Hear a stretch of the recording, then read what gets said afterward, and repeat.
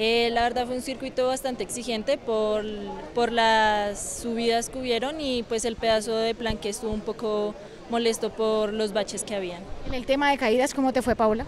Eh, pues tuve una caída en la segunda vuelta en el sprint porque la mayoría del lote se cayó y eh, estuve dentro de esa caída. ¿Qué pasa por la mente cuando se cae uno, Paula, pero se levanta y gana la etapa? Pues la verdad en ese momento de la adrenalina es solo como pensar en pararse y seguir alcanzar el lote principal para poder estar dentro de la disputa de la etapa. Paula, ¿hoy te levantaste con esa sensación de ganar la, el circuito? Claro que sí, sí señora.